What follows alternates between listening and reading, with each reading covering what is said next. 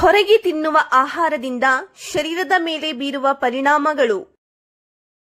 ಮಕ್ಕಳಿಗೆ ಹೊರಗಡೆ ತಿನ್ನುವ ಅಭ್ಯಾಸವಿರುತ್ತದೆ. ಗೊತ್ತಿದ್ದೋ ಗೊತ್ತಿಲ್ಲದೆಯೋ ಆ ಚಟ ಬೆಳೆಸಿದವರು ನಾವು. ಪೋಷಕರು ತಮ್ಮ ಮಗು ಏನು ತಿನ್ನುತ್ತದೆ ಮತ್ತು ಏನು ತಿನ್ನಬಾರದು ಎಂಬುದರ ಬಗ್ಗೆ ಗಮನ ಹರಿಸಬೇಕು.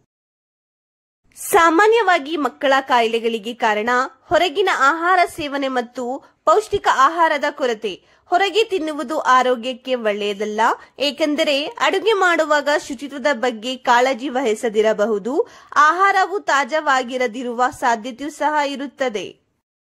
ಹೊರಗಡೆ ಊಟ ಮಾಡುವುದರಿಂದ ಬೇದಿ ಅಥವಾ ಜೀರ್ಣಾಂಗದಲ್ಲಿ ಸೋಂಕು, ಬೊಜ್ಜು, ಹೃದಯದ ರೋಗ, ಮಧುಮೇಹ ಮುಂತಾದ ಹಲವು ಸಮಸ್ಯೆಗಳು ಉಂಟಾಗಬಹುದು.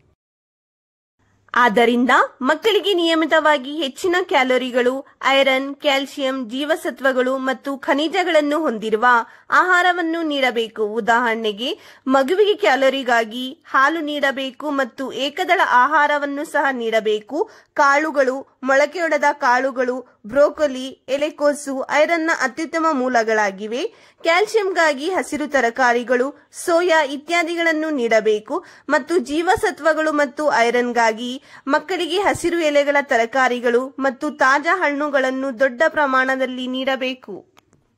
ಈ ವಿಡಿಯೋದಿಂದ ಪಡೆದ ಮಾಹಿತಿ ನಿಮಗೆ ಇಷ್ಟವಾಗಿದೆ ಮತ್ತು ಈ ವಿಡಿಯೋದಲ್ಲಿ ನೀಡಲಾದ ಮಾಹಿತಿಯನ್ನು ನೀವು ಅರ್ಥ ಮಾಡಿಕೊಂಡಿದ್ದೀರಿ ಎಂದು ನಾವು ಭಾವಿಸುತ್ತೇವೆ. ಇಂತಹ ಇನ್ನಷ್ಟು ಹೊಸ ವಿಡಿಯೋಗಳೊಂದಿಗೆ ನಾವು ಮತ್ತೆ ಭೇಟಿಯಾಗುತ್ತೇವೆ. ಅಲ್ಲಿಯವರೆಗೆ ನಿಮ್ಮ ಮತ್ತು ನಿಮ್ಮ ಮಕ್ಕಳನ್ನು ನೋಡಿಕೊಳ್ಳಿ. ಧನ್ಯವಾದಗಳು.